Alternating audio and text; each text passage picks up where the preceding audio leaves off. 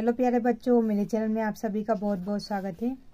तो बच्चों, इस वीडियो में हम कक्षा सातवीं की हिंदी बुक है, जिसका पार्ट पच्चीस है, यातायात सुरक्षा। इसकी क्वेश्चन आंसर हम इस वीडियो में सोल्व करेंगे तो चलिए बच्चों, वीडियो शुरू करते हैं। तो बच्चों, यह वीडियो हम अभ्यास से शुरू करेंगे। क्वेश्चन नंबर वन दिया है। निम्नलिखित प्रश्नों के उत्तर दीजिए। यहाँ पे कुछ प्रश्न दिए गए हैं बच्चों तो इनके हम उत्तर लिखेंगे। तो किस प्रकार से इनके हम उत्तर लिखेंगे? तो क्वेश्चन नंबर क है बच्चों, किस घटना के कारण कक्षा में सड़क नियमों पर चर्चा हुई? तो उत्तर है बच्चों, सड़क पर खेल रहे बच्चों के द्वारा कक्षा के एक छात्र अनिल के माथे पर क्रिकेट की बॉल लगने से गंभीर चोट लग गई थी। मतलब जो सड़क पर बच्चे खेल रहे थे तो उनकी जो बॉल थी, वो अनिल के माथे पर लग गई थी, जिससे क्या हो गया, उसको चोट लग गई थी। अतः कक्षा में सड़क के नियम पर चर्चा हुई, कि मतलब सड़क के क्या नियम होते हैं, हमें सड़क पर खेलना नहीं चाहिए, इस टाइप के। अब क्वेश्चन नंबर ख है, सड़क नियमों का पालन न करने से क्या परिणाम हो सकता है? यदि हम जो सड़क नियम या यातायात के नियम हैं अगर हम इनका पालन नहीं करेंगे तो क्या होगा? तो उत्तर है, सड़क नियमों का पालन न करने पर वाहन आपस में टकरा सकते हैं, है ना? वाहन आपस में टकरा सकते हैं, जिससे वाहन चालक चालक यानी जो चलाने वाला है, या उसमें बैठे व्यक्ति को गंभीर चोट लग सकती है, या मृत्यु भी हो सकती है, या आपने देखा होगा एक्सीडेंट हो जाता है जिससे लोग मर जाते हैं। नेक्स्ट क्वेश्चन है जेब्रा क्रॉसिंग क्यों बनाई जाती है? आपने देखा होगा बच्चों रोड पार करने के लिए जेब्रा क्रॉसिंग बनाई जाती है ना? तो उत्तर है, सड़क पर पैदल चलने वाले व्यक्तियों को रोड क्रॉस करने के लिए या रोड पार, आप क्रॉस की जगह पार भी लिख सकते हो, रोड पार करने के लिए जेब्रा क्रॉसिंग बनाई जाती है। नेक्स्ट क्वेश्चन है सड़क पर दुर्घटनाग्रस्त व्यक्ति की मदद के लिए क्या करना चाहिए? यदि किसी सड़क पर आप जा रहे हो और किसी का एक्सीडेंट हो जाता है तो आपको क्या करना चाहिए? तो उत्तर है, यदि आपके सामने सड़क पर कोई दुर्घटना हुई हो या कोई एक्सीडेंट हो गया हो तो आप 108 नंबर पर फ़ोन करके एंबुलेंस बुलाकर दुर्घटनाग्रस्त व्यक्ति की सहायता कर सकते हैं। नेक्स्ट क्वेश्चन है, सड़क पर खेलना उचित क्यों नहीं है?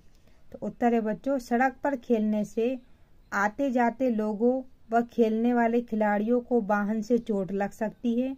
इसलिए सड़क पर खेलना उचित नहीं है या सड़क पर खेलना अच्छी बात नहीं है।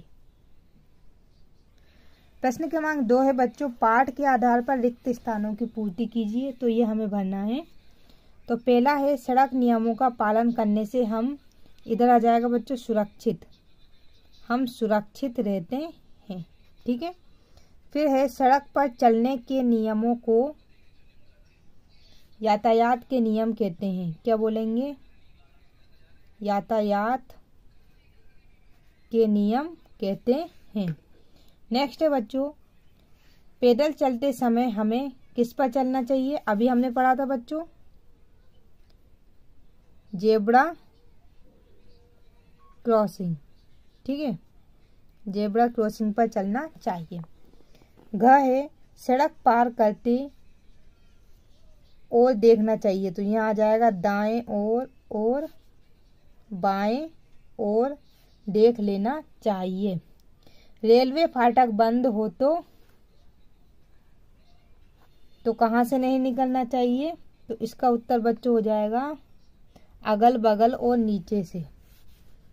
आप इधर लिख देती हूँ मैं, अगल, बगल, और, नीचे और नीचे से। तो ये यहाँ पे लिखना है, ठीक है? ये जो खाली स्थान है, ये इतना लंबा इधर इस पे लिखना है। इधर जगह छोटी थी, इसलिए मैंने इधर नहीं लिखा। अब क्वेश्चन नंबर थ्री जोड़ी मिलाइए। तो देखिए बच्चों, जोड़ी मिलाना है। अब अस्पताल का चिन्ह, देखो ये प्लस का चिन्ह जो होता है, वो किसका होता है? अस्पताल का चिन्ह होता है ना? तो देखिए। और ये है हॉर्न ना बजाए। ये देखो हॉर्न का चिन्ह है तो हॉर्न ना बजाए तो इसको हम इससे मिला लेंगे। फिर ये दिया है, ये भोजनालय, ये चम्मच वगैरह दी हुई है तो ये भोजनालय का चिन्ह है, ठीक है? ये अस्पताल का चिन्ह हो जाएगा। आगे स्कूल है, ये बच्चे दिख रहे हैं ना? तो ये आगे स्कूल है, ये इससे इसको हम मिला देंगे।